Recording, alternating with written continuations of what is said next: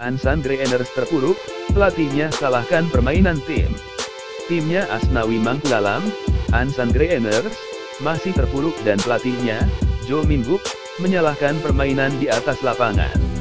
Dia kecewa dengan apa yang ditunjukkan para pemain saat lawan Gyeongnam, Minggu, 20 Maret 2022. Memang, tak dimungkiri Ansan memulai kompetisi kali kedua musim ini dengan sangat buruk.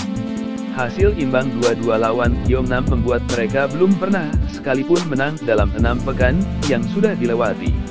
Ansan Greeners terpuruk, Asnawi terpinggirkan.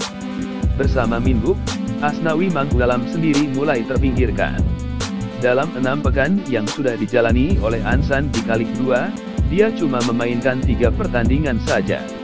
Malahan, dalam tiga pertandingan tersebut, total dia cuma mendapatkan 38 menit saja bertanding. Dua dari bangku cadangan, sedang baru sekali jadi starter, yakni kala main 25 menit lawan Guangzhou, 12 Maret 2022.